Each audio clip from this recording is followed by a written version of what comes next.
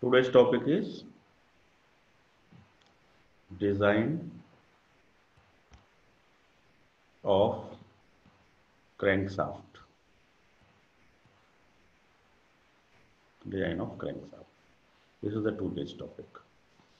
So, in the um, machine design module one, machine design one, you have already studied the design of the shaft. आपने design of shaft पढ़ा है है ना? तो soft की designing में बहुत ही सिंपल प्रोसीजर है कि मान लीजिए कोई भी साफ्ट ए बी है आपके पास there is a shaft A B and on this shaft let the bending movement is coming bending movement is M B है ना? And there are three cases in first case only bending movement is coming second case only torque is coming and third is a combined case in which torque is also there and bending moment and torque both are acting on the shaft both are acting on the shaft so this shaft may have a gear on it. The shaft may have a pulley on it. The shaft may have gear on it. The shaft may have pulley on it. So suppose there is a pulley, then weight of the pulley will acting on the shaft. So if I made a free body diagram of this shaft and shaft is uh, supported at point A and B, so if I made a free body diagram, then let this is pulley and some tensions on the belt. Let the tight side tension is T1, slack side tension is T2, weight of the pulley is W. So the total force is W plus T1 plus T2 is acting over here. So shaft per pulley यदि है तो उसके ऊपर पुली का weight pulley के tensions tight side tensions and slack side tensions है ना they will come similarly on the gear suppose this is a gear and this is the for, tangential force. Let this is ft that we calculate from the lewis equation. We calculate the force from the lewis equation in the gear design. And suppose there is a force Ft and uh, this is the radius of the gear, then the moment on the gear will be Ft multiplied by R. So this is the force which is coming on the gear. So in the during the shaft design, there are three cases. One is under bending moment only. Shaft is under bending moment only. Second case is shaft is under torque twisting moment only. And the third case, shaft is under combination of bending moment and twisting. Both movement are acting. So for the design purpose, in the first case, when only bending moment is acting, then bending stress is given by my over i. Okay, so here m is the bending moment, so I can write mb, y is dy 2, inertia is pi by 64 d4. After solving, I get sigma b equal to 32 times mb divided by pi dq. This design we ये हम पहले भी पढ़ चुके हैं M D one में जब हम साफ्ट को डिज़ाइन कर रहे थे तो वहाँ पर हमने शाफ्ट को इसी तरह से डिज़ाइन किया था कि बेंडिंग मूवमेंट यदि एक्ट कर रहा है शाफ्ट के ऊपर तो साफ्ट के अंदर जो बेंडिंग स्ट्रेस डेवलप होगी, वो 32 two F B upon pi D cube होगी और ये सिग्मा बी अलोएबल लिमिट से ज़्यादा नहीं होनी चाहिए this sigma B should be less than equal to allowable limit. And if sigma b is less than equal to allowable limit, then our shaft is safe. Or we put sigma allowable in place of sigma b, then we can calculate diameter of the shaft. This is the simple design of the shaft that we have done during the machine design one classes. You this is the first case when only bending moment is acting. The second case is also very simple. In the second case, only the torque is acting. Then we apply the torsion equation. Initially, we have applied the bending equation in the first case. So torsion equation is Tyj divided by uh, sigma upon r, sigma upon radius. So it is sigma divided by r. So from here, it is not sigma, it is shear stress. So it is tau, it is not sigma, it is tau divided by r. And T is the torque. So I can write this equation as mt in place of T, I am writing mt divided by J. J is polar moment of inertia. So I can write pi d4 divided by 32 equal to tau is the shear stress. R can be written as d by 2. After solving, I get tau equal to 16, 16 mt divided by pi d cube. After solving, I get this formula. So if this tau is less than equal to tau allowable, then our shaft is safe. Or I can put tau allowable in place of tau, then I, I can find the diameter of the shaft. So this is the second case in which only the twisting moment is acting over the shaft. First case only bending moment, second case only twisting moment.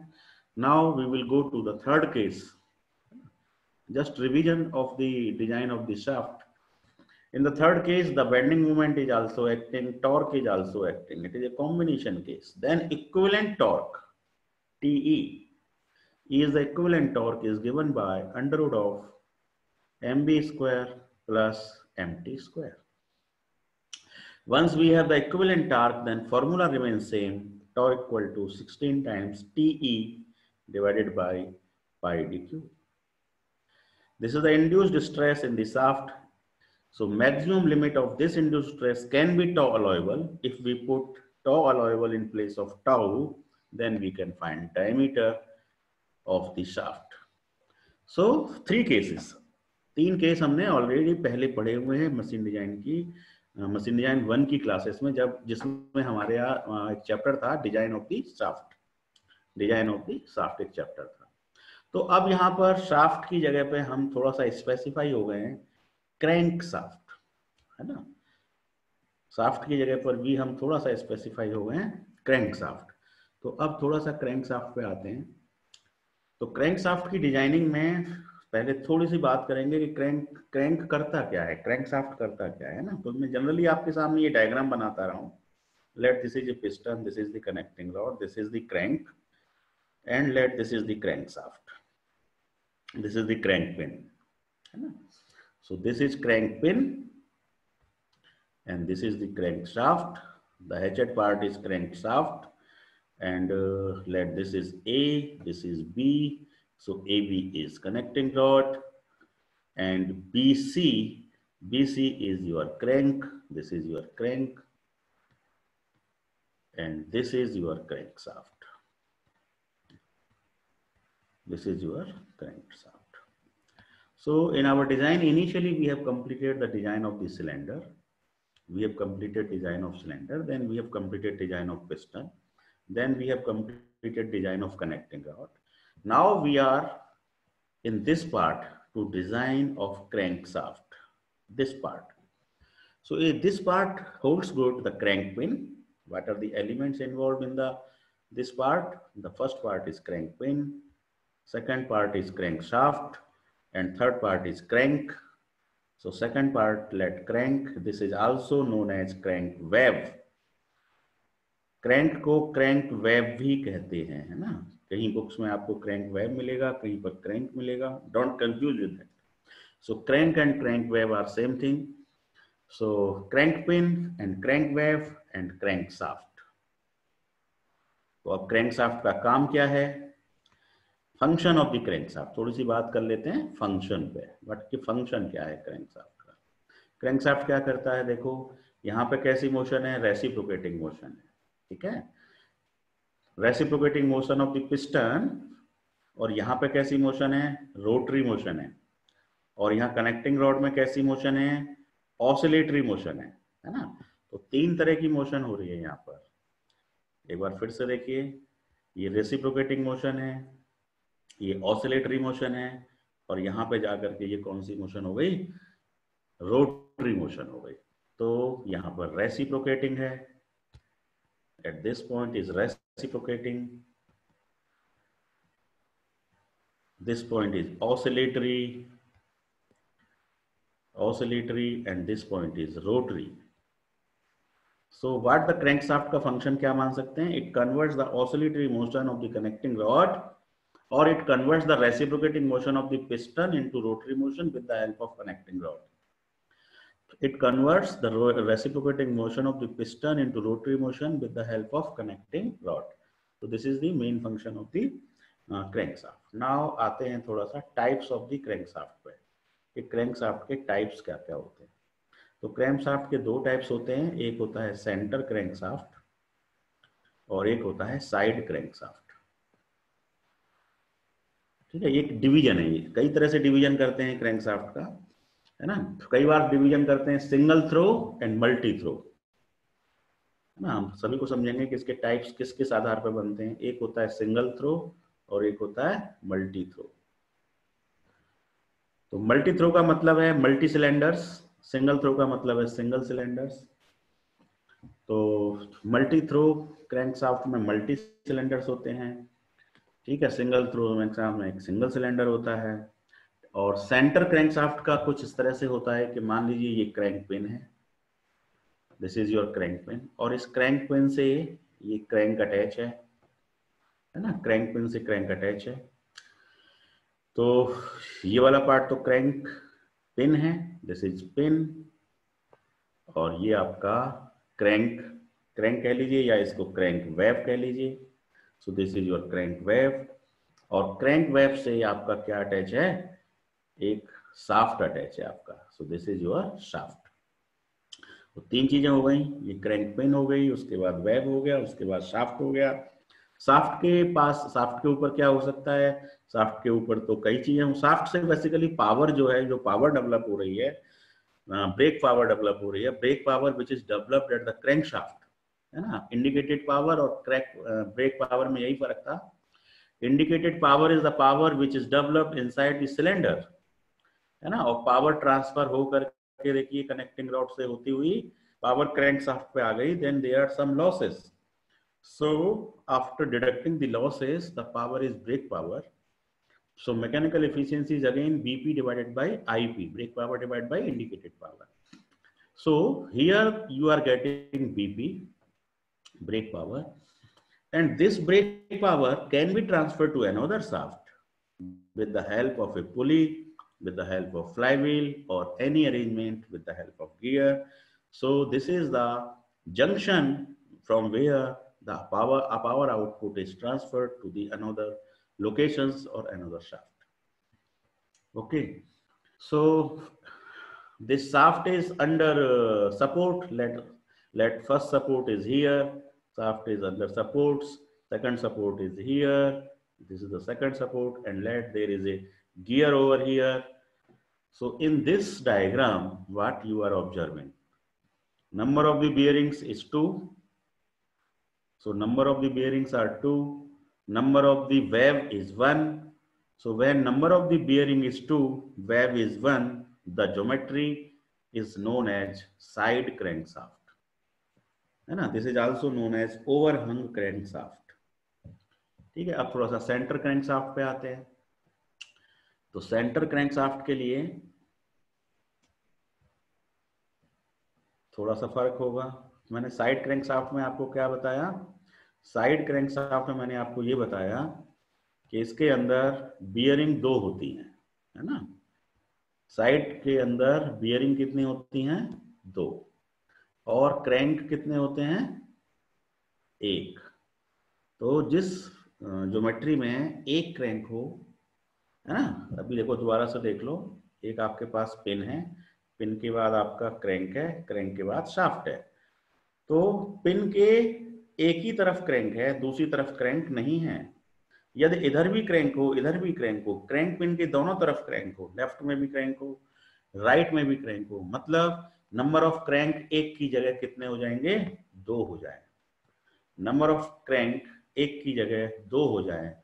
तो उसे हम कहते हैं centre crank shaft centre crank shaft में जो crank होते हैं, वो दो होते हैं। ठीक है, अब बियरिंग्स की बात कर लेते हैं। तो बियरिंग्स पे एक बियरिंग यहाँ रहती है, दूसरी बियरिंग यहाँ रहती है, और तीसरी बियरिंग यहाँ रहती है। तो इस तरह से बियरिंग्स की संख्या जो है, इसके अंदर तीन होती है। ठीक है? तो जिस ज्योमेट्री में बियरिंग तीन हो क्रैंक दो हो, उसको कहते हैं सेंटर क्रैंक साफ्ट और जिस ज्योमेट्री में बियरिंग दो हो क्रैंक एक हो, उसको कहते हैं साइड क्रैंक साफ्ट है ना? एक बार फिर से शॉर्टकट में बता दूँ। बहुत इंपॉर्टेंट है, कभी कभी टाइप्स के लिए लिखने आता है। देखिए क्रैंक पिन होगी। क्रैंक पिन के दोनों तरफ़ क्रैंक हो। क्रैंक पिन के दोनों तरफ़ क्रैंक हो। और उसके बाद शाफ्ट जो है, वो पार्ट्स में हो। शाफ्ट कई पार्ट में है। एक पार्ट इधर है शाफ्ट का, एक पार्ट इधर है। ये भी शाफ्ट का पार्ट है। This is also shaft and this is also shaft तो शाफ्ट दोनों तरफ़ होता है, क्रैंक पिन के दोनों तरफ़ क्रैंक होते हैं, ये लेफ़्ट क्रैंक कहलाता है, ये राइट क्रैंक कहलाता है ना? तो जिसमें लेफ़्ट क्रैंक भी हो, राइट क्रैंक भी हो, उस तरह की ज्योमेट्री को क्या कहते हैं? सेंटर क्रैंक साफ्ट कहते हैं। ये सेंटर क्रैंक साफ्ट है, ठीक है? तो हम क्या करने वाले हैं? अब इस सेंटर क्रैंक साफ्ट को हम डिज़ाइन करेंगे। तो डिज़ाइन करने का मतलब है कि हम क्रैंक पिन को भी डिज़ाइन करेंगे। क्रैंक पिन ऑलरेडी डिज़ाइन हो गई है कनेक्टिंग रॉड के टाइम पर। जब हमने कनेक्टिंग रॉड को डिज़ाइन किया था तो वहाँ पर हमने क्रैंक पिन को डिज़ाइन किया था। क्रैंक पिन को हम यहाँ भी डिज़ाइन कर लेंगे और दोनों में जो लार्जर वैल्यू होगी, उसको एक्सेप्ट कर लेंगे। है ना? जब कोई चीज़ मल्टी प्लेसेस पे डिज़ाइन होती है then we always accept the larger value है ना? मान लीजिए क्रैंक पिन का डायमीटर वहाँ फाइव एम एम आ रहा है, यहाँ पे सेवन एम एम आ रहा है then we will accept seven M M है ना? So diameter of the crank pin is important. Length of the crank pin also important. So, this is the length of the crank pin. This is the diameter of the crank pin. है ना? तो अब हमें designing का मतलब क्या है? DC निकालना है एलसी निकालना है। क्रैंक पिन को डिज़ाइन करना है। इसके बाद क्रैंक वेब है ये। इस क्रैंक वेब को डिज़ाइन करना है मतलब इसकी थिकनेस क्या है? तो थिकनेस ऑफ़ द वेब या थिकनेस ऑफ़ द क्रैंक तो उसको हम कहेंगे टी डब्ल्यू और इसी को जब हम राइट साइड से देखेंगे तो इसकी विड्थ दिखाई पड़ेगी तो वो बी डब्ल्यू है ना? इसको कहीं से काट दें तो आपको एक रेक्टेंगल मिलेगा T W by B W का। क्या रेक्टेंगल मिलेगा आपको? T W by B W का। तो वेब का जो क्रॉस सेक्शन होता है, वो रेक्टेंगुलर होता है। तो क्रैंक वेब की डिज़ाइन का मतलब है कि आपका टी डब्ल्यू कितना है? बी डब्ल्यू कितना है? कितने पैरामीटर हो गए? दो हो गए क्रैंक पिन में, दो हो गए क्रैंक में या क्रैंक वेब में, और उसके बाद आता है साफ्ट अब साफ्ट यहाँ पे कितनी बियरिंग्स होती हैं? बियरिंग नंबर वन तीन बियरिंग होती हैं सेंटर क्रैंक साफ्ट के अंदर, है ना? This is first bearing this is second bearing this is third bearing ठीक है? अब इस first bearing second bearing third bearing हो सकता है कि पूरे तीनों प्लेसों पे साफ्ट का डायमीटर कांस्टेंट हो। यहाँ भी डी हो, यहाँ भी डी हो, है ना? कभी कभी साफ्ट को स्टेप्ड बनाते हैं स्टेप्ड साफ्ट है ना? तो स्टेप्ड साफ्ट में क्या होता है? डायमीटर अलग अलग हो सकते हैं। Diameter is D here diameter is D S here और सम अदर कई डायमीटर हो सकते हैं। है ना? कहीं कहीं पर फ्लाईवील लगाया जाता है तो फ्लाईवील के जंक्शन जंक्शन पे जंक्शन जो जंक्शन होता है, उस जंक्शन पे साफ्ट के फेलोर होने के चांसेस अधिक हैं तो उस पॉइंट पर शाफ्ट का डायमीटर थोड़ा सा ओवर ले लिया जाता है तो उस डायमीटर को हम क्या कहते हैं? DS diameter of the shaft at the junction of the flywheel तो क्रैंक साफ्ट के कई डायमीटर हो सकते हैं, है ना? कोई डी हो सकता है कोई डी एस हो सकता है कोई डी एस वन हो सकता है मतलब कई डायमीटर हो सकते हैं है ना? डिपेंड करता है कि हो सकता है साफ्ट के ये वाले हिस्से पर बेंडिंग मूवमेंट कम आ रहा हो और ये वाले हिस्से पर बेंडिंग मूवमेंट ज़्यादा आ रहा हो तो यहाँ पर शाफ्ट का डायमीटर कम हुआ यहाँ पर शाफ्ट का डायमीटर ज़्यादा होगा। यदि हम हर जगह पर शाफ्ट का डायमीटर सेम ले लेंगे तो ये हमारी कॉस्ट को बढ़ाएगा। तो for optimization purpose to reduce the cost to reduce the weight of the crankshaft and to reduce the cost of the uh, crankshaft, we go for the step shaft in which the diameter at different different point और different different length is different तो कुल मिला के मुझे क्या निकालना है? D निकालना है डी एस निकालना है। तो ये मेरा साफ्ट की डिज़ाइन का क्रैंक साफ्ट की डिज़ाइन का पैटर्न होता है है ना? समराइज कर देता हूँ थोड़ा सा कि क्रैंक साफ्ट के अंदर कौन कौन से पार्ट्स होते हैं? तीन ही पार्ट होते हैं। एक क्रैंक पिन होती है, एक क्रैंक होता है या क्रैंक वेब होता है और एक शाफ्ट होता है। क्रैंक पिन की डिज़ाइन का मतलब डीसी और एलसी निकालना है। क्रैंक वेब का मतलब टी डब्ल्यू और बी डब्ल्यू निकालना है। साफ्ट का मतलब डी और डी एस निकालना। अब इसको हम एक फ़ाइल के थ्रू समझ लेंगे, है ना? तो बहुत आसान है। अब ये जो क्रैंक साफ्ट है, ये बिल्कुल साफ्ट की तरह ही डील होगी, है ना? जो अभी मैंने साफ्ट रिवाइज रिवाइज कराया था साफ्ट के तीन केस बताए थे। एक केस होता है कि साफ्ट के ऊपर बेंडिंग मूवमेंट आ रहा हो, एक केस होता है साफ्ट के ऊपर केवल ट्विस्टिंग आ रही हो। और एक केस होता है कि साफ्ट के ऊपर दोनों आ रहे हो, है ना? तो ये हमें जज करना पड़ता है कि कब कौन सा केस है है ना? तो फॉर एग्ज़ाम्पल केस कैसे डिसाइड करते हैं, उसकी थोड़ी सी बात कर लेते हैं कि मान लीजिए कि क्रैंक पिन है, और इस क्रैंक पिन के ऊपर फोर्स आ रहा है। क्रैंक पिन के ऊपर क्या आ रहा है? फोर्स आ रहा है, और ये आपका क्रैंक वेब है। मैं सेंटर की बात कर रहा हूँ, और ये आपका शाफ्ट है, ये आपका शाफ्ट अब देखिए, यहाँ पे भी बियरिंग लगी हुई है, यहाँ पे भी बियरिंग लगी हुई है। अब ये फोर्स आ रहा है। तो ये फोर्स जो आ रहा है क्रैंक पिन पे, ये किसकी वजह से आ रहा है? Due to the burning of the gases तो गैस की बर्निंग की वजह से एफ़ जी जो फोर्स आता है, उसकी वैल्यू होती है five by four D square multiplied by pressure अब यदि प्रेशर हम मैक्सिमम ले लेंगे तो हमारा फोर्स भी मैक्सिमम हो जाएगा। तो हम शाफ्ट को मैक्सिमम फोर्स पे डिज़ाइन करेंगे। तो हम ये मान के चलेंगे कि क्रैंक पिन के ऊपर ये फोर्स आ रहा है। This is the force coming on the crank pin और उसकी वैल्यू क्योंकि साफ्ट का, क्योंकि सिलेंडर का बोर डायमीटर और प्रेशर मैक्सिमम प्रेशर हमें क्वेश्चन में गिवन होता है। So we will be knowing this force ठीक है? अब ये फोर्स आ रहा है तो ये बियरिंग क्या देंगी? रिएक्शन देंगी। ये बियरिंग रिएक्शन देंगी। मान लेते हैं कि ये वाली रिएक्शन R1 और ये वाली रिएक्शन R2 है। तो आपको सीधा सीधा पता है कि इसकी वैल्यू कितनी हो जाएगी एफ़ वाई टू है ना? एफ़ जी बाई टू या F G M by two है ना? F G M by two और ये भी हो जाएगी F G M by two reactions निकाल ली हमने।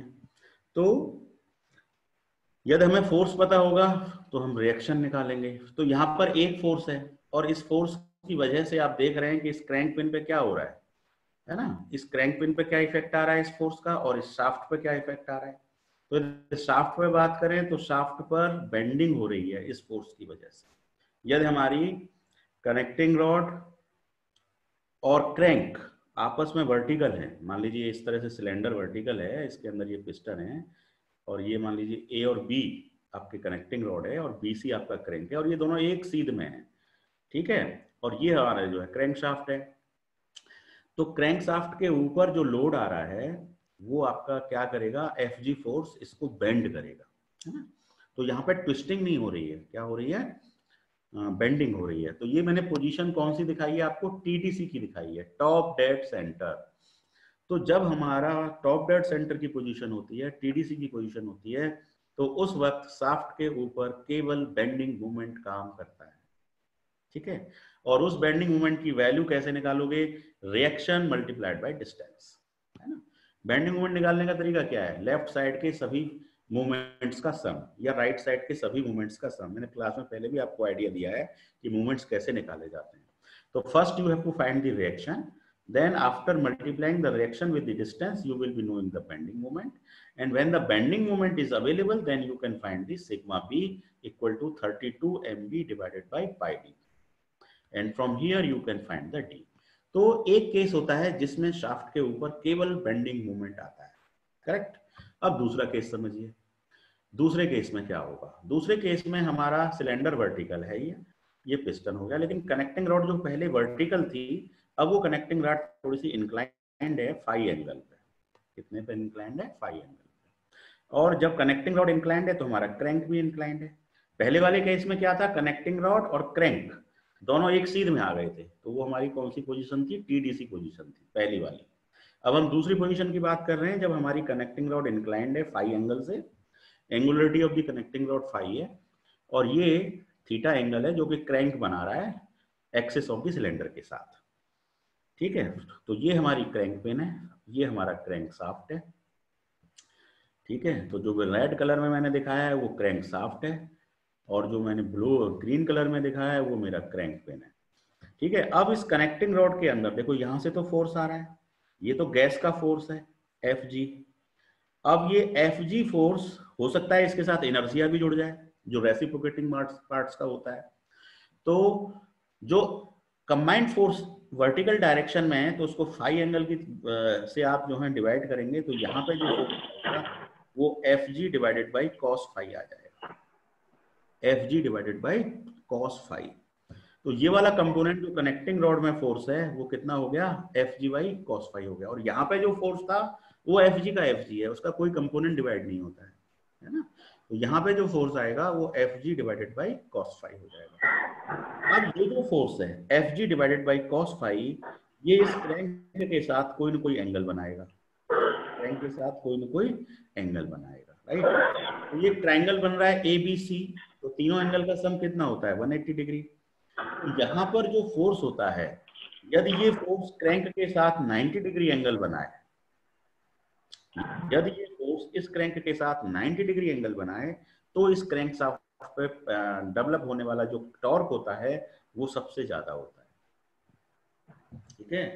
क्रैंक साफ्ट पे टॉर्क यानी कि मूवमेंट सबसे ज़्यादा कब होता है? क्रैंक साफ्ट पर ट्विस्टिंग मूवमेंट सबसे ज़्यादा तब होता है जब कनेक्टिंग रॉड क्रैंक के साथ 90 डिग्री एंगल बनाती है। और आप जानते हैं कि इन तीनों एंगल का टोटल एंगल वन देखो तीनों एंगल की बात कर रहा हूँ first angle second angle third angle ये ट्राइंगल है तो तीनों का टोटल 180 होगा तो from here I get theta plus five equal to 90 degree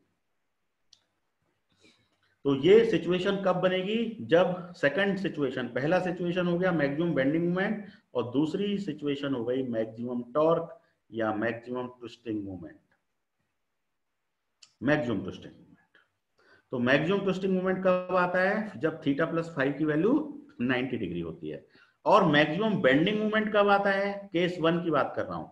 maximum bending movement जब कब आता है? जब हमारा टीडीसी पोजीशन होती है या हम कहें कि थीटा इक्वल टू ज़ीरो होता है, या हम कहें कि फाइव इक्वल टू ज़ीरो होता है।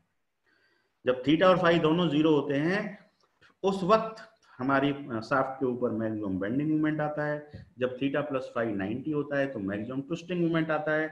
ये दो कंडीशन ही सबसे इंपॉर्टेंट होती है। तो इस पर्टिकुलर केस में, मान लीजिए कनेक्टिंग रॉड के अंदर कोई फोर्स है F C F G by cos five को मैं एफ़ सी बोल रहा हूँ। So is FC multiplied by this radius, this radius is R. So the torque is given by FC multiplied by R. So this is your twisting moment, force into perpendicular distance. So once the twisting moment is known, then uh, shearing stress can be given by 16 MT divided by pi d cube. And this d can be found out by the geometry. ठीक है तो ये मैंने आपको दो cases बता दिए अब मैं आपको एक इन बिटवीन केस लेता हूँ कि ना तो ये 90 है और ना ये ज़ीरो है। तो इन बिटवीन केस में क्या सिचुएशन बनती है? इन बिटवीन केस में देखिए, ये आपकी कनेक्टिंग रॉड है, ये आपका सॉरी ये आपका इस तरह से मान लीजिए, ये कनेक्टिंग रॉड है, ये आपका क्रैंक है और ये आपका क्रैंक शाफ्ट है, ठीक है? अब इस केस में थोड़ा सा इसको अलग बनाते हैं, मान लीजिए हम। ऐसे बना लेते हैं। मैं केस इसको 90 नहीं ले रहा हूँ। I am taking this case somewhat ऐसे ले रहा हूँ ऐसे। अब ये 90 नहीं लग रहा है है ना? तो this angle is now not 90 तो अब इस क्रैंक कनेक्टिंग रॉड के अंदर यदि फोर्स है एफ़ सी तो इस फोर्स को ये डायरेक्शन ये है इस फोर्स की, है ना? अब इस फोर्स को यदि दो पार्ट में डिवाइड करेंगे तो इसका एक पार्ट हो जाएगा दिस साइड एंड एक पार्ट हो जाएगा दिस साइड तो एफ़ सी के दो कंपोनेंट हो जाएँगे। तो ये वाला एंगल कितना हो जाएगा देखिए। ये एंगल फाइव है, ये एंगल थीटा है और ये ये वाला जो एंगल है, ये थीटा प्लस फाइव हो गया क्योंकि ये एक्सटीरियर एंगल है ट्राइंगल का, है ना? ट्राइंगल का एक्सटीरियर एंगल जैसे ये ट्राइंगल है ए बी सी अब सी बी डी की बात कर रहा हूँ। तो एंगल सी बी डी जो होगा वो थीटा प्लस फाइव होगा, क्योंकि ये एक्सटीरियर एंगल है ट्राइंगल एबीसी का। तो इस एफ़ सी फोर्स के जब हम दो कंपोनेंट करेंगे तो पहला कंपोनेंट हो जाएगा F C cos theta plus five है ना? एक कंपोनेंट इस डायरेक्शन में जाएगा जिसे हम कहेंगे रेडियल कंपोनेंट। तो ये आपका कौन सा कंपोनेंट हो गया? Radial component. तो इसकी वैल्यू हो जाएगी F C cos theta plus five क्योंकि ये एंगल की तरफ़ है और एक कंपोनेंट हो जाएगा tangential component that is F T is F T F C sine theta plus five F C sine theta plus five किसी फोर्स के दो कंपोनेंट होते हैं W cos theta W sine theta तो जो डब्ल्यू कॉस थीटा है, वो radial component है, जो डब्ल्यू साइन थीटा है, वो टेंजेंशियल कंपोनेंट है. अब देखिए, जो टेंजेंशियल कंपोनेंट है वो क्रैंक के साथ कितना एंगल बना रहा है? 90 का एंगल बना रहा है। तो इस एफटी की वजह से तो इसमें ट्विस्टिंग होगी, है ना? एफटी की वजह से ट्विस्टिंग होगी और एफआर की वजह से इसमें क्या होगी? साफ्ट के अंदर बेंडिंग होगी। तो यहाँ पे कई चीज़ें होने, कई चीज़ें होती हैं। एक तो एफआर की वजह से बेंडिंग होती है। एक एफटी की वजह से ट्विस्टिंग भी होती है और बेंडिंग भी होती है। जब एफटी को यहाँ की बजाय पैरेलली यहाँ शिफ्ट करेंगे तो जब एफ़ टी यहाँ शिफ्ट होगा तो अपने साथ टॉर्क लेके आएगा। है ना? कोई भी फोर्स जब पैरेलली शिफ्ट होता है, एक पॉइंट से दूसरे पॉइंट पर तो अपने साथ क्या लेके आता है? टॉर्क लेके आता है। तो इस सिचुएशन में, ये मैंने स्पेशल सिचुएशन ली है when theta plus five is not 90 ये थर्ड सिचुएशन है। इस सिचुएशन पे भी आपको कभी कभी डिज़ाइनिंग में काम करना पड़ेगा, पढ़ना पड़ सकता है। तो इस सिचुएशन में कनेक्टिंग रॉड में जो फोर्स है, उसके दो कंपोनेंट हो जाते हैं, एक टेंजेंशियल कंपोनेंट एक रेडियल कंपोनेंट रेडियल कंपोनेंट की वजह से प्योर बेंडिंग होती है, टेंजेंशियल कंपोनेंट की वजह से बेंडिंग भी होती है, ट्विस्टिंग भी होती है। तो अब शाफ्ट के ऊपर बेंडिंग भी आ रही है, ट्विस्टिंग भी आ रही है कंबाइंड केस हो जाता है। और इस कंबाइंड केस को सॉल्व करने के लिए फिर हमारे पास वही तरीका है, यदि बेंडिंग मूवमेंट एम है, पहले तो बेंडिंग मूवमेंट निकालिए, उसके बाद टॉर्क निकालिए, फिर इसका इक्विवेलेंट निकालिए under root M B square plus M T square और उसके बाद फॉर्मूला यूज़ करिए डिज़ाइन का। ठीक है तो ये मैंने आपके सामने तीन केस रखे हैं। ठीक है, एक और बहुत इंपॉर्टेंट बात मैं आपको बता दूँ कि यदि किसी क्रैंक साफ्ट पर कोई मान लीजिए पुली लगी हुई है तो जब इसको आप राइट साइड से देखेंगे तो पुली एक आपको एक सर्किल के फॉर्म में दिखाई देगी, ठीक है? Let this is the P अब इस पुली के ऊपर हो सकता है कि वर्टिकल जो बेल्ट हो, वो वर्टिकल हो, है ना? हो सकता है कि बेल्ट जो है, वो वर्टिकल है, और हो सकता है कि पुली जो है, उसके ऊपर जो बेल्ट है, वो हॉरिजेंटल है। कोई भी केस हो सकता है। या तो ये केस हो सकता है हॉरिजेंटल वाला या फिर वर्टिकल वाला केस हो सकता है। यदि आपकी वर्टिकल केस है तो ये वर्टिकल प्लेन वर्टिकल प्लेन के फोर्स हैं और यदि हॉरिजेंटल टेंशन है तो ये हॉरिजेंटल हॉरिजेंटल प्लेन के फोर्सेस ठीक है? तो आप कभी भी हॉरिजेंटल प्लेन को वर्टिकल प्लेन के साथ ऐसे मत उलझा दीजिएगा कि एक ही डायग्राम में आपने हॉरिजेंटल भी शो कर रखा है वर्टिकल भी शो कर रखा है। ठीक है? क्योंकि आप देखिए, ये आपकी क्रैंक पेन है। मान लीजिए मैं पहले वाले केस की बात कर रहा हूँ टीडीसी के केस में। तो टीडी के केस में ये वाला फोर्स क्या होता है? जो क्रैंक पिन के ऊपर आता है, वो वर्टिकल होता है। So this force is vertical है ना? वी लिख देता हूँ, ये फोर्स वर्टिकल है। अब यहाँ पे आपकी शाफ्ट है। ये आपका क्रैंक वेव आ गए दो। अब ये शाफ्ट है, मान लो, है ना? ये बीच में तो शाफ्ट नहीं है। लेफ़्ट में शाफ्ट है राइट में शाफ्ट है। अब इस शाफ्ट के इस शाफ्ट पे मान लीजिए आपके ढेरों सारे, एक पुली यहाँ लगी हुई है। एक दूसरी पुली यहाँ लगी हुई है। दोनों के डायमीटर अलग अलग है। अब आप जब इस पर देखेंगे तो ये वाली पुली पे आपने देखा कि इस पर तो वर्टिकल टेंशन आ रही है टी वन टी टू ठीक है? और इस वाली पुली पे आपने देखा कि इस पर T three T four horizontal tension आ रही है। तो अब ये पूरा का पूरा शाफ्ट एक प्लेन में नहीं है। This shaft is under two two categories एक हॉरिजेंटल प्लेन के फोर्सेस एक वर्टिकल प्लेन के फोर्सेस तो आप क्या करेंगे? पहले शाफ्ट का एफबीडी आप बनाएँगे। और एफबीडी में सबसे पहले आप हॉरिजेंटल प्लेन पे काम करेंगे या वर्टिकल प्लेन पे काम करेंगे तो पहले वर्टिकल प्लेन पे काम करेंगे। वर्टिकल प्लेन का आप डायग्राम बना लेंगे तो वर्टिकल प्लेन का डायग्राम आपका कैसे बनेगा? फॉर आइडिया के लिए कि मान लीजिए आपका ये शाफ्ट हो गया। शाफ्ट पे एक तो आपका ये क्रैंक पिन वाला फोर्स आ रहा है वर्टिकल एक ये टी वन टी टू आ रहे हैं। तो T one plus T two और यदि पुली के अंदर कोई वेट है तो वेट वेट ऑफ़ पुली भी आएगा। ये वर्टिकल फोर्स गैस का फोर्स आ गया। ये रिएक्शन हो गई आर वन आर टू तो इन फोर्सेस की वजह से रिएक्शन निकाल लीजिए और रिएक्शन निकालने के बाद में बेंडिंग मूवमेंट निकाल लीजिए। तो ये तो बात हो गई वर्टिकल प्लेन की। अब आते हैं हॉर्जेंटल प्लेन की। तो हॉर्जेंटल प्लेन का डायग्राम बनाने के लिए आप दोबारा से शाफ्ट बनाएँगे। अब ये तो वर्टिकल प्लेन है तो ये तो इसमें शो होगा नहीं। यदि ये वाला, ये टीडीसी ना होता, मान लो केस अभी हमने टीडीसी लिया है टीडीसी नहीं लिया टीडीसी ना होकर ये वाला फोर्स वर्टिकल ना होता तो वर्टिकल ना होता तो फिर इसके दो कंपोनेंट होते। एक हॉरिजेंटल कंपोनेंट होता, एक वर्टिकल कंपोनेंट होता। यदि गैस फोर्स के भी दो कंपोनेंट हैं तो उसके भी दो कंपोनेंट हो जाएँगे, एक वर्टिकल प्लेन में, एक हॉरिजेंटल प्लेन में। तो जो वर्टिकल प्लेन डायग्राम होगा, उसमें वर्टिकल कंपोनेंट दिखाया जाएगा। जो हॉरिजेंटल प्लेन डायग्राम होगा, उसमें हॉरिजेंटल कंपोनेंट दिखाया जाएगा। तो बी केयरफुल कौन सा फोर्स हॉरिजेंटल प्लेन में है, कौन सा फोर्स वर्टिकल प्लेन में है। और उसके अकॉर्डिंग आप दोनों केस में, मान लीजिए वर्टिकल प्लेन में bending movement M V V है हॉरिजेंटल प्लेन में bending movement M B H है है ना? V for vertical h net bending movement is given by M B V square plus M B H square ठीक है? Net bending movement निकल जाएगा। उस नेट बेंडिंग मूवमेंट के हिसाब से फिर आप शाफ्ट को डिज़ाइन करेंगे। 32 M B divided by pi D ठीक है? तो देखिए, मोटा बात मैंने क्या बताया है? दो पोजीशन इंपॉर्टेंट होती हैं। एक पोजीशन जब टीडीसी वाली बात है, उस वक्त मैक्सिमम बेंडिंग मूवमेंट आता है तो उस वक्त ये वाला जो कंपोनेंट होता है क्रैंक पिन वाला जो कंपोनेंट वो वर्टिकली होता है हॉरिजेंटल कंपोनेंट कुछ होता ही नहीं है ज़ीरो हो जाता है। दूसरे वाले केस में जब थीटा प्लस फाइव नाइनटी होता है तो वहाँ पर दोनों कंपोनेंट होते हैं वर्टिकल भी होता है हॉरिजेंटल भी होता है। You have to take care of that ठीक है? तो चलिए अब जरा सा एक न्यूमेरिकल करते हैं। तो ये कंसेप्ट हमें थोड़ा सा और क्लियर हो जाएगा। तो मैं अब फ़ाइल एक फ़ाइल शेयर कर रहा हूँ आपको। Design of the crankshaft.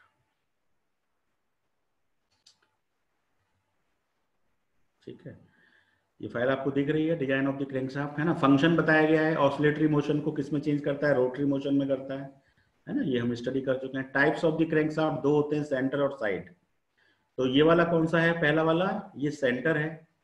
क्योंकि देखिए क्रैंक पिन है क्रैंक पिन के दोनों तरफ़ आपका क्रैंक वेव है और शाफ्ट है है ना? जब इसको राइट साइड से देखेंगे तो आपको ये क्रैंक पिन का सर्किल दिखेगा और यहाँ पे क्रैंक साफ्ट का सर्किल दिखेगा।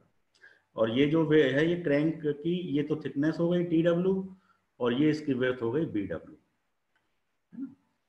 तो क्रैंक साफ्ट के अंदर तीन ही चीज़ें होती हैं crank pin crank shaft assembly में क्रैंक पिन क्रैंक वेब और क्रैंक साफ्ट क्रैंक साफ्ट एक रोटेटरी मेंबर होता है, जहाँ से पावर जो है ब्रेक पावर को आप ट्रांसफ़र करते हैं आईसी इंजन में, जहाँ पर भी आप चाहते हैं। ठीक है सेंटर क्रैंक साफ्ट की पहचान है। दो क्रैंक वेब होते हैं on the other side of the crank pin और साइड क्रैंक साफ्ट को ओवरहंग क्रैंक साफ्ट भी कहते हैं, और इसमें एक ही क्रैंक होती है। एक ही क्रैंक वेब होती है। क्रैंक पिन के केवल राइट साइड में वेब होती है लेफ़्ट साइड में वेब नहीं होती। ठीक है, यदि आपने किसी एक तरह की डिज़ाइन कर ली, यदि आपने सेंटर क्रैंक साफ्ट की डिज़ाइन कर लिया तो साइड क्रैंक साफ्ट की बिल्कुल उसी तरह हो जाती है। ठीक है तो ये कुछ मटेरियल्स के बारे में है। तो मटेरियल डक्टाइल होना चाहिए। साफ्ट का साफ्ट का मटेरियल डक्टाइल होता है। और इस पर हैवी स्ट्रेस आते हैं। फटिंग स्ट्रेंथ इसकी अच्छी होनी चाहिए। रेजिलियंस अच्छा होना चाहिए। इसकी लिटरल रिजिडिटी अच्छी होनी चाहिए। लिटरल रिजिडिटी को कैसे डिफाइन करते हैं it is the product of modulus of elasticity and the moment of inertia so E I है ना लिटरल रिजिडिटी कभी पूछा जाता है what is lateral rigidity So, it is the product of E and I. E is the modulus of elasticity. I is the moment of inertia. जितना EI ज़्यादा होगा soft की लिटरल रिजिडिटी उतनी ही अच्छी मानी जाती है सिमिलरली टॉर्जनल रिजिडिटी इसको डिफाइन करते हैं product of it is defined as TJ TJ नहीं it is defined as GJ where G is the modulus of rigidity and J is the polar movement of inertia तो इसमें एक ई e आई है और एक जी जे है। ठीक है? Design of the crank pin तरीका वही है, जो मैक्सिमम गैस फोर्स उसको एलसी डीसी पीवीसी के इक्वल रख देंगे। हमने कनेक्टिंग रॉड के समय भी रखा था, है ना? एलसी और डीसी क्या है? एरिया है और पीवीसी जो है वो बियरिंग प्रेशर है। ठीक है, कुछ एजम्पन ले लेते हैं एलसी और डीसी का रेशियो मान लेते हैं कि डेढ़ है, एक है, सवा है, जो भी मानना है मानिए 1.4 1.3 you are free to assume that तो जनरली डेढ़ मान लिया, है ना? डीसी निकाल लिया, इसको डेढ़ मान करके पीवीसी अज्यूम कर लेते हैं। पीवीसी भी दो तरह से अज्यूम करते हैं कि स्प्लेस लुब्रिकेशन और जो हमारी क्रैंक पिन बियरिंग होती है तो बियरिंग में लुब्रिकेशन होता है। लुब्रिकेशन के कई टाइप्स होते हैं। प्रेशर लुब्रिकेशन है, एक स्प्लेस लुब्रिकेशन है। तो स्प्लेस लुब्रिकेशन में थोड़ा प्रेशर कम आता है क्रैंक पिन के ऊपर। प्रेशर लुब्रिकेशन में थोड़ा सा ज़्यादा आता है। तो उसमें सेवन टू एट माह के बीच में अज्यूम कर लेते हैं स्प्लेस लुब्रिकेशन में और प्रेशर लुब्रिकेशन में आठ से बारह अज्यूम कर लेते हैं। तो सात से बारह के बीच में आप कोई भी वैल्यू अज्यूम कर लीजिए, कोई फ़र्क नहीं पड़ता कि स्प्लेस है या प्रेशर है। है ना? You assume between this check for shear shear के लिए चेक यहाँ से डीसी निकल गया, फिर चेक कर लेते हैं। चेक अब क्रैंक पिन में सिंगल शेयर होता है कि डबल शेयर होता है, बताइए। हमने जब उधर पिस्टन पिन को भी डिज़ाइन किया था तो वहाँ भी डबल शेयर हो रहा था पिस्टन पिन में। है ना? क्रैंक पिन में भी डबल शेयर ही होता है। कैसे होता है डबल शेयर जरा सा बोर्ड से देख लीजिए कि क्रैंक पिन में डबल शेयर क्यों होता है। देखिएगा ध्यान से। देखिए, ये आपकी क्रैंक पिन होती है। ये क्रैंक आता है, इधर भी क्रैंक आता है। अब ये फोर्स आ रहा है। अब ये फोर्स इसको एक जगह तो शेयर में यहाँ से फेल करने की कोशिश करता है, एक यहाँ से फेल करने की कोशिश करता है जंक्शन ऑफ़ द वेव के पास में। तो इसको डबल शेयर में कंसीडर करते हैं फ्रॉम हियर एंड हियर है ना? जहाँ पे ये फिटिंग रहती है connecting crank pin crank web के अंदर घुसी रहती है तो उस जगह पे डबल शेयर वाली फिनोमिना होती है है ना? तो सेंटर क्रैंक साफ्ट में डबल शेयर होगा और साइड क्रैंक साफ्ट में सिंगल शेयर होगा, है ना? तो हम हम यहाँ पे सेंटर क्रैंक साफ्ट की डिज़ाइन कर रहे हैं। तो यहाँ पर डबल शेयर ही होगा, है ना? अब डबल शेयर एरिया क्या हो जाएगा? क्रैंक पिन का एरिया क्या है? Pi by four D C square है तो डबल शेयर में एरिया डबल हो जाएगा तो area will be two times pi by four D C square correct चलिए, दोबारा से मैं वाइट उस पर आ रहा हूँ फ़ाइल पे आ रहा हूँ। Design of the crank shaft तो हमने ये एरिया डबल ले लिया है एरिया की value five by four D C square है। है ना? डी सी स्क्वायर ये सी पी यू पी कुछ नहीं है डी डी सी स्क्वायर है केवल। तो double shear for the centre crank pin shaft अब इसमें टॉ कैलकुलेट कर लेंगे और यदि tau induced is less than the tau permissible और tau allowable then our crank pin safe under the shear phenomena crank pin हमारी safe है। दूसरी चेक लगाते हैं बेंडिंग के लिए। तो बेंडिंग में क्या करते हैं? बेंडिंग मूवमेंट निकाल लेते हैं। पिस्टन पिन पे भी बेंडिंग मूवमेंट यही था। एफ़ एल बाई एट था वहाँ पे एल जो है वो पिस्टन पिन की लेंथ थी है ना? एल वन थी जो, जो वो वो लेंथ थी जो कनेक्टिंग रॉड बुश के अंदर आई हुई थी एल वन एल वन को हमने 45 percent of the total length लिया था है ना? 45 percent of the bore diameter लिया था L one equal to point four five D piston pin के केस में आप याद करें। तो फॉर्मूला वही था एफ़ एल बाई एट यहाँ भी एफ़ एल बाई एट है यहाँ पे एल जो है वो क्रैंक पिन की लेंथ है। लेंथ हम यहाँ स्टेप वन में कैलकुलेट कर चुके हैं। क्योंकि जब डीसी निकल जाएगा तो एल सी अपने आप निकल जाएगा 1.5 से मल्टीप्लाई कर। तो सी हम निकाल चुके हैं। तो यहाँ पर हम बेंडिंग मूवमेंट निकाल लेंगे, फिर बेंडिंग स्ट्रेस वही होता है M by upon I thirty two M by pi D cube है ना? Allowable value plain carbon steel के लिए 60 से 80 अलॉय स्टील के लिए 140 से 190 क्रैंक पिन भी डक्टाइल डक्टाइल मटेरियल की बनती है। देखो आईसी इंजन असेंबली में तीन आइटम डक्टाइल मटेरियल के हैं, चार आइटम डक्टाइल मटेरियल के हैं। जैसे कनेक्टिंग रॉड डक्टाइल मटेरियल की होती है, या तो प्लेन कार्बन स्टील की होगी या अलॉय स्टील को कभी भी भूल करके कनेक्टिंग रॉड का मटेरियल कास्ट आयरन मत बता देना इंटरव्यू में या वाइवा में या कहीं पर भी। कनेक्टिंग रॉड क्रैंक साफ्ट ये दोनों ही डक्टाइल मटेरियल के हैं। इसके अलावा पिस्टन पिन क्रैंक पिन ये भी डक्टाइल मटेरियल के होते हैं। और डक्टाइल मटेरियल के लिए फेलर थ्योरी कौन सी यूज़ होती है? मैक्सिमम सियर स्ट्रेस थ्योरी या फिर डिस्टोर्शन एनर्जी थ्योरी दो ही थ्योरी डक्टाइल मटेरियल के लिए चलती हैं। पहले हमने पढ़ी है फेलर थ्योरीज तो यदि पूछा जाता है बाबा में कौन सी थ्योरी से आप डिज़ाइन करेंगे? तो आप कहेंगे मैक्सिमम सीयर स्ट्रेस थ्योरी से डिज़ाइन करेंगे। इसलिए हमने यहाँ पे सीयर स्ट्रेस को चेक भी किया है। ठीक है? तो ये हमारी लिमिट हो गई। प्लेन कार्बन स्टील के लिए थोड़ी लिमिट कम होती है। अलॉय स्टील के लिए थोड़ी ज़्यादा होती है, क्योंकि उसमें अलॉइंग मटेरियल मिक्स होते हैं तो उसकी स्ट्रेंथ को बढ़ा देते हैं। अलॉइंग मटेरियल में क्रोमियम है निकेल है मैग्नीज है टंगस्टन है मॉलबिडनम है, ये सब चीज़ें मेनली क्रोमियम और निकेल होते हैं। तो यदि बेंडिंग स्ट्रेस बेंडिंग परमिसिबल से कम है then our pin is safe under the bending तो ये डिज़ाइन कंप्लीट हो जाती है क्रैंक पिन की। अब आते हैं क्रैंक वेब पे। किस पे आते हैं? क्रैंक वेब पे आते हैं। तो क्रैंक वेब्स की डिज़ाइन में दो पोजीशन कंसीडर करते हैं। पहली पोजीशन कंसीडर करते हैं टीडीसी की। है ना? When the gas force is maximum और दूसरी पोजीशन कंसीडर करते हैं ट्विस्टिंग मूवमेंट की, है ना? ट्विस्टिंग मूवमेंट जब ट्विस्टिंग मूवमेंट मैक्सिमम हो तो दोनों केस पे डिज़ाइन करते हैं, दोनों केस में जो मैक्सिमम वैल्यू आती है उसको एक्सेप्ट कर लेते हैं, है ना? टी डब्ल्यू और बी डब्ल्यू निकाल लेते हैं। तो ये थोड़े से फॉर्मूले दिए हुए हैं कि क्रसिंग स्ट्रेस कितना आएगा तो force divide by area area हो गया डी सी टी डब्ल्यू लेकिन यहाँ पे डबल क्रशिंग है है ना? डबल क्रशिंग है। डबल क्रशिंग कैसे है? फिर से देख लीजिए बोर्ड पे। आप डबल क्रशिंग को थोड़ा सा समझ जाएँगे, है ना? कम इमेजिन हो जाएगा। देखिए,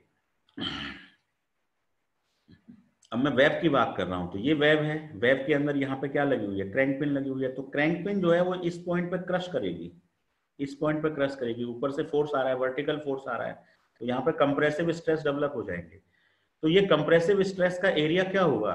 इसका एरिया निकालने के लिए आप निकाल सकते हैं कि क्रैंक पिन का डायमीटर क्या है? डी है ना? क्रैंक पिन का डायमीटर कितना है? डी और मल्टीप्लाइड प्रोजेक्टेड एरिया ले लीजिए तो प्रोजेक्टेड एरिया लेने से आप देखें कि कितना एरिया वहाँ पे लिखा हुआ है। Design of the crank shaft में क्रैंक वेब का जो एरिया है, वो डीसी इंटू टी डब्ल्यू तो टी डब्ल्यू क्या है? विर्थ ऑफ़ दी क्रैंक है thickness of the crank web है, और डीसी पिन का डायमीटर है तो जो प्रोजेक्टेड एरिया है, वो डीसी टी डब्ल्यू आएगा, लेकिन ये दो प्लेस पे है, दो क्रैंक है तो आपका जो एरिया है वो डबल हो जाएगा। तो it is a case of double crushing इसलिए टू से मल्टीप्लाई किया है तो इस तरह से ये सिग्मा सी इतना हो गया। अब इसमें टी डब्ल्यू के लिए इंपेरिकल फॉर्मूला भी है point two five DC DC क्या diameter of the crank pin तो यदि इन दोनों वैल्यूज़ में से जो वैल्यू ज़्यादा आएगी take larger of the two values है ना? ये ले लेते हैं बड़े आराम से। ये साइन रूल है लेंथ ऑफ़ द क्रैंक है, ये क्रैंक रेडियस है फाइव थीटा है थीटा प्लस फाइव नाइनटी होता है। है ना? दूसरा वाला केस, पहले दूसरे वाले केस में जब थीटा प्लस फाइव नाइनटी होता है तो इसकी और इसकी हेल्प से हम थीटा निकाल लेते हैं। तो L Y sine theta is R upon sine ninety minus theta. देखो साइन फाइव फाइव क्या हो जाएगा? Ninety minus theta. तो फाइव की जगह नाइनटी माइनस थीटा रख दिया। तो L Y sine theta is R Y cos theta. Sine ninety minus theta cos theta होता है तो साइन थीटा बटे cos theta tan theta tan theta is L Y R so theta is tan inverse L Y R so it is tan inverse N zero L Y R को N zero बोला गया है obliquity ratio तो यहाँ से theta निकल जाएगा theta निकल जाएगा तो नब्बे में से घटा के फाइव निकल जाएगा। थीटा और फाइव निकल जाएँगे तो फिर हमारे फोर्स जो है वो फाइव और थीटा के फॉर्म में है तो हम सारे फोर्सेस को निकाल पाएँगे। तो इस तरह से हम उसकी डिज़ाइनिंग कर लेते हैं, है ना? अब हम आ जाते हैं क्रैंक साफ्ट की डिज़ाइनिंग पे। तो क्रैंक साफ्ट में देखो, फिर से दो केस होते हैं। When the gas force is maximum TDC की बात होती है। तो वही है एम वाई अपॉन आई होता है वाई डी वाई टू है inertia five by sixty four D वही सेम केस है नो प्रॉब्लम इन दिस है ना? तो बड़े आराम से कर लेंगे, ये जो साफ्ट की डिज़ाइन है, वही क्रैंक साफ्ट की डिज़ाइन है। दूसरा केस है when twisting moment on the crank shaft is maximum तो इसमें भी वही सिचुएशन चलती है, हमको कुल मिला करके बैंड टॉर्क निकालना होता है इक्विवेलेंट टॉर्क निकालना होता है। तो बेंडिंग मोमेंट यदि एम है, और टॉर्क टी टी है, ये टी नहीं होगा, ये टी होगा then equivalent torque is M square plus T square ये इसमें टॉर्जन इक्वेशन लगाइए और फिर वही अलाउेबल लिमिट दे रखी है प्लेन कार्बन स्टील के लिए और अलॉय स्टील के लिए। तो इनमें से आप कोई भी वैल्यू अज्यूम करके टॉ अज्यूम करिए। यदि प्लेन कार्बन स्टील मटेरियल है तो 30 से 50 के बीच में 40 लेके काम आगे बढ़ा दीजिए। यदि अलॉय स्टील आपने चूज़ किया तो 70 और 100 के बीच में कोई वैल्यू ले लीजिए 85 और काम आगे बढ़ाइए, उससे आप डी निकाल लीजिए और डी जो है दोनों से जो डी आएगा उसमें लार्जर वैल्यू ले लो। है ना? B A larger value given by A and B तो ये जो बी इक्वेशन है ये कब है? जब मैक्सिमम टॉर्क है और जो ए इक्वेशन है वो कब है? जब मैक्सिमम बेंडिंग मूवमेंट है। दोनों से डायमीटर कैलकुलेट होगा जो ज़्यादा होगा उसको हम एक्सेप्ट करेंगे। है ना? अब ये हमारे पास एक न्यूमेरिकल है। न्यूमेरिकल टाइम कितना है हमारे पास? एक सेकंड है हमारे पास पाँच सात मिनट टाइम नहीं ज़्यादा सर हाँ एक मिनट में टाइम देख लूँगा। कितना हो रहा है? हो गया सर टाइम हो गया। टाइम हो गया है। चलो तो इस न्यूमेरिकल को हम लोग नेक्स्ट क्लास में कर लेंगे, है ना? और ये फ़ाइल तो मैं आपको भेज दूँ, मैं थोड़ा सा दो मिनट में आइडिया दे दूँ, बस हल्का सा इसका, है ना?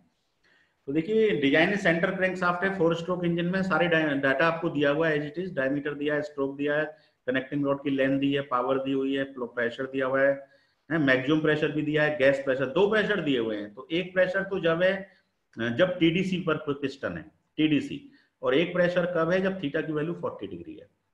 तो दोनों में, दो केस हम स्टडी करेंगे हमने तो दोनों को अप्लाई करेंगे। एक केस में प्रेशर की वैल्यू 2.2 रखेंगे, दूसरे केस में प्रेशर की वैल्यू 1.2 रखेंगे।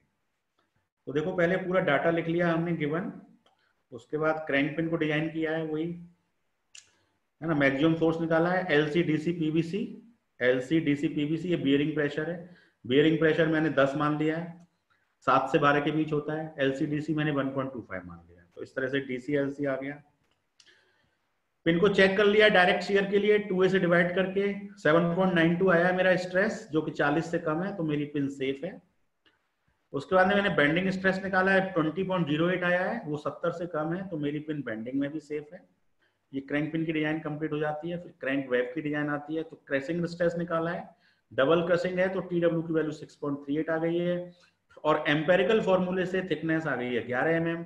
इन दोनों में कौन सी ज़्यादा है? ग्यारह और सिक्स पॉइंट थ्री एट में ग्यारह ज़्यादा है। इसलिए यहाँ पे ग्यारह मिलीमीटर एक्सेप्ट कर ली गई है। तो इस तरह से क्रैंक वेब की डिज़ाइन हो जाती है। और अब आ जाते हैं हम साफ्ट की डिज़ाइनिंग पर। तो design of the shaft bending movement 32 two M by pi D cube TDC पर डिज़ाइन किया है पहले। तो टीडीसी पर जब डिज़ाइन किया है तो bending movement W L by four होता है। ये निकाल लिया है बेंडिंग मूवमेंट वैल्यू पुट की 69.42 70 मिलीमीटर डायमीटर आया है, पहले केस से।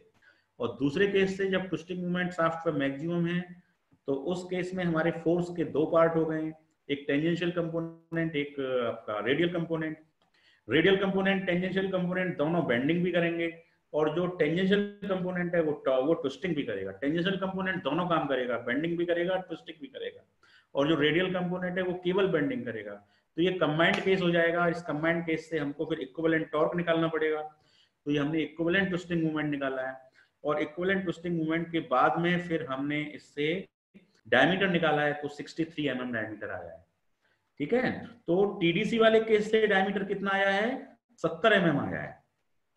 पहले केस से साफ्ट का डायमीटर 70 एम mm आया है और दूसरे केस से साफ्ट का डायमीटर 63 एम mm आया है। तो उन दोनों में जो लार्जर वैल्यू है, उसको हम ले लेंगे। तो ये हमने लार्जर वैल्यू ले ली है 70 मिलीमीटर ठीक है? उसके बाद क्रैंक वेब की थिकनेस तो पहले निकल गई थी, उसके बाद जो उसकी विर्थ है वो भी निकाली है तो बी डब्ल्यू हमारा 105 एम mm आ गया है।